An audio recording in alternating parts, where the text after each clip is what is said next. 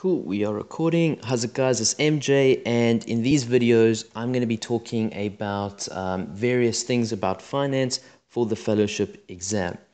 So the previous one was around households and how they influence the economic environment. Um, this time we're going to be talking about financial intermediaries. I always wonder if I'm spelling this stuff correctly. Uh, financial intermediaries. Okay. Remember, these videos are unscripted, um, unedited. It's me just giving my opinion, studying out loud. So don't take any of it as factual and feel free to challenge all of it in the comment section below. Um, like I said, it is going to be a lot of opinion based and I am going to be quite skeptical when I approach the material. This just helps me to to think and to um, you know get the creative thinking uh, juices flowing. Okay, financial intermediaries. What do I mean by financial intermediaries? I'm talking about uh, banks, insurance companies. Um, what else, are financial intermediaries? Uh, pension funds, um, investment banks. I mean, uh, collective investment vehicles um, what else? We've got asset managers, basically any middleman in the money, um, the money thing, uh, asset management.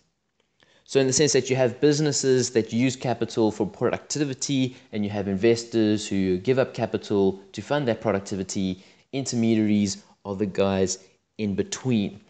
And my opinion at the moment is that they're actually, we're not going to have these things in the future. These things are actually terrible. Um, with artificial intelligence and blockchain technology, we can have a future without of these without these guys. And I think that's a good thing because these guys make lots and lots of money. Um, yes, they've added a lot of value to society in the past, but I think in the future we're not going to see them playing a very big role. But I'm talking about the far distant future, you know, something like 2018, you know, far away. No, I'm joking. Maybe like uh, 100 years from now. But so before that happens, we do need to to consider them. We do need to think about them and um, and what they do. So, like I said, they are the middleman. So here we have them. Think of them as the middleman. And as a middleman, they make their money by charging a commission and they take a you know little fee here and there. So the more volume that happens in the financial markets, the more money they make. Um, as finance is growing, they're making more and more money. So they're actually very, very rich and they employ the majority of actuaries and accountants, who are the two smartest people in the world. Um, and actuaries and accountants go there because they offer massive salaries because they need the smartest uh, people to help them out with their various things. But essentially, what they're doing is they are selling their own liabilities to raise funds that are used to purchase other liabilities. So they sell liabilities and they buy liabilities. Now, at first, that might sound a little bit uh, confusing. Sorry, I'm just trying to it's weird when you spell in capitals. Um, sorry, liabilities. My spelling is probably atrocious. Um, so they buy and sell liabilities. Now remember, the best way I think of liabilities is to think of a coin. On the one side, it's an asset. On the other side, it's a liability. So an asset on my um, accounting record will be a liability on your accounting record. For example, let's say we go to the bank. We go to the bank and we deposit 100 Rand. So we deposit 100 Rand with the bank. Okay. That 100 Rand to us is an asset, but to the bank, that 100 Rand is a liability. So what they've done is by us giving a 100 Rand deposit to the bank, they have created this liability on their, uh, their balance sheet. Yes, they've also created 100 Rand cash reserves, but a liability has been created in the sense that they owe us 100 Rand. They then take 90 Rand of that and they lend it to a business to do um, you know, productivity So the bank then lends out 90 Rand of our money to a business, um, which is now a liability for that business, but on their bank uh, balance sheet, it will be an asset. And so it's, it's, important to, to understand the, the, the fundamental principles of accounting when doing finance because it's kind of like that's the lingo. Um, it all comes down to you know assets, liabilities, and, and all those various things. But what they're doing is they're the middleman. They're taking money from the investors, from the private individuals, and they're giving it to the businesses. Okay, now why do they exist and why are they making so much money? You know, what, what advantages do they offer? So the advantages of financial intermediaries is their ability to pool resources. So what this means is by pooling resources of many small investors, they are able to, to lend considerable sums to large borrowers or they're able to, to buy some really cool assets. Um, one of the, the cool assets that they do are things like shopping centers. Okay, shopping centers are very popular here in South Africa. Um, the thing is, a shopping center costs a couple hundreds of millions of rands to build, and you know they're they're worth a lot, but they make a lot of money through rent and all those type of things. Now, as an individual, it's very difficult for you to have a hundred million or so to come by a shopping center. But if you, along with say two thousand other people, give a bit of money to a financial intermediary, they can pool those resources and they can buy the shopping center in their own name, take the rental income, take off a little bit of their fee, and then give you that rental income. So they can pool resources to buy assets that would not have been accessible to the individual. Remember in the previous video when we were talking about households, we said we need to look at the characteristics of the assets available because shopping centers or some of these you know exotic assets will not be available to the individual man but they will be um, available to a large financial intermediary so yeah shopping centers okay the next thing is is that these guys over here can also get a lot of diversification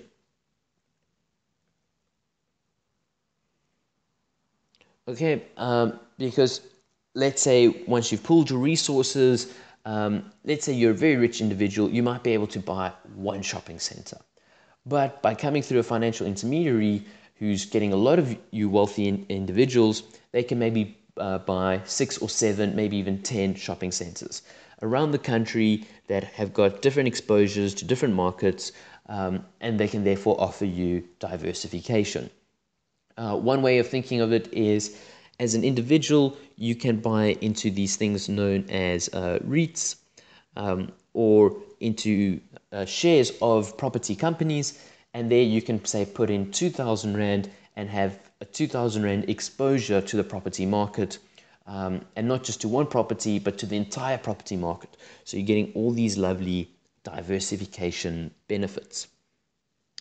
Okay, also because um, financial intermediaries are making a lot of money, and because this is all that they do, they have a lot of expertise. So they have expertise because this is what they do all day, and because they go and they take their fees and they employ actuaries and accountants who, like I told you, are the smartest people on earth. Um, and because of that, is they have a significant advantage when it comes to knowledge and understanding of the financial markets. Uh, the man on the street will know less about bonds and stock trading than say a big bank or a insurance company or an asset manager. Well, we should hope so. Um, so yeah, they do offer uh, expertise, and then the whole idea is that because if these guys get big enough through economies of scale, they can offer it at lower dealing, administration, and management costs. Um, and I, I think maybe let's put that down to they make things a little bit simpler. So, as an individual, if you want to buy shares on the stock market, there's quite a lot of forms you need to fill in, or if you want to do this or do that, you know, there's all this regulation. By coming through a financial intermediary, they take care of that And because they're doing it at such a large scale, there's economies of scale, um, lower dealing and administration costs. So these guys make a lot of money because they do offer, I mean, these are a lot of advantages. They're pooling resources, they're doing offering diversification, there's expertise, and you know they make the whole investment process simpler. But now, what are the disadvantages? I mean, one of the key disadvantages is the asymmetry of risk. So, what do I mean by the asymmetry? Am I spelling this word right? The asymmetry of risk. Okay, the idea is that as an individual, I give um, this asset manager, this very smart asset manager, um, 100 Rand. Here you go. Have 100 Rand. And the idea is that he's going to take a fee of 5 Rand and then he's going to take 10% of whatever earnings, um, whatever, you know, um, generation that he creates. So if he doubles the investment to say 200 Rand, he's going to take a 20 Rand fee for himself. Okay, that's 10%. The problem is, is that let's say he goes, well, what he decides to do then is he decides to go to the roulette table. Okay, and he says, I'm going to put 100 Rand on black and I'm going to spin. Because if I lose, okay, then I end up with 5 Rand and that's the fee of taking the money. If I win, I get the fee plus I get the 10%, so I'm actually getting 25 Rand. So I'm going to take a risk where I get either 5 Rand or 25 Rand. Whereas an individual, what you're getting, what your risk payoff is, is if it comes off wrong, well, you get nothing. And if it comes out right, you're getting, well, 25 minus 200, you're getting 875. So maybe let me actually, let me draw this matrix out a little bit better over here. So let's have the individual and we have the financial intermediary. Okay. And let's say this is best case and this is worst case. And this is on a 50 50 risk investment. So best case is we get a 175. The worst case is we get zero. The financial intermediary, best case is that they get 25, and the worst case is that they get 5 Rand. Now, yes, it's better for the financial intermediary for to land on the right one. However, what this does is, oops, what it does is that it makes them take on more risk than they should because they think, listen here, guys, if we take on these risky investments, worst case scenario is we just get our five rand fee. But best case scenario is we're getting, you know, 25 rand. That for them, there's not that much loss. There's not that much that not much that ugh. There is not that much loss aversion, whereas with the individual. And also, if the individual had taken on this 50 50 risk by themselves, they would have been looking at 200 versus 0 as the payoff. So they're actually losing 25 uh, Rand of that, or they're giving it to the financial intermediary for playing blackjack or roulette or whatever like that.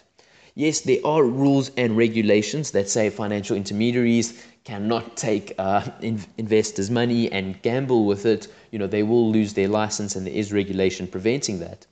But when it comes to, say, choosing stock A and stock B, stock A is a uh, chocolate factory that's got very predictable sales, very predictable uh, expenses, or stock B, which is a genetically engineering company that does, you know, weird futuristic DNA stuff and they need a lot of capital for R&D and they're either going to make millions or they're going to go bankrupt tomorrow, um, financial intermediaries might be encouraged or incentivized to take the riskier share because of the payoffs. So that that is the the one downside is that people are making money off your money with none of the, the risk exposure like you have.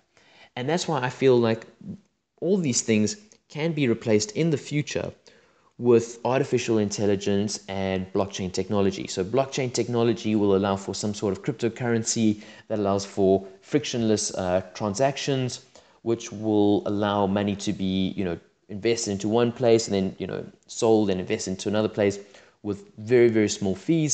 And we can write artificial intelligence rules to say, okay, this company meets my risk appetite Therefore, we're going to put shares, uh, sorry, put capital behind that share, or we're going to move capital to do that because you've now had a child, you have a dependency, and all these various things like that. So I do have a very optimistic look on the future that we're not going to be relying too much on banks, insurance, pensions, and collective investment vehicles and asset management because I feel like machines will be able to do that for us. Um, it's just the regulations that are maybe holding that a bit back, but I do feel like we are going to be seeing this type of revolution or financial disruption very soon.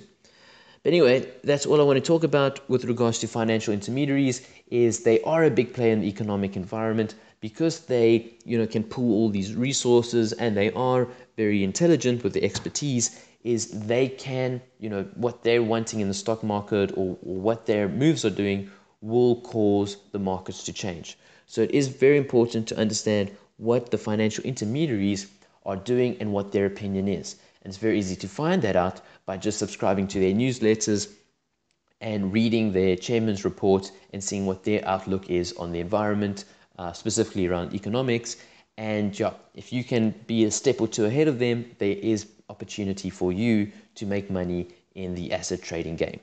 But anyway, that's all we have time for. Um, in the next video, I am going to be looking at uh, businesses and their role in the economic environment and what they do for money and investment banks and all that type of stuff. So that's going to come out tomorrow. So hit subscribe to check out that video. Thanks, guys.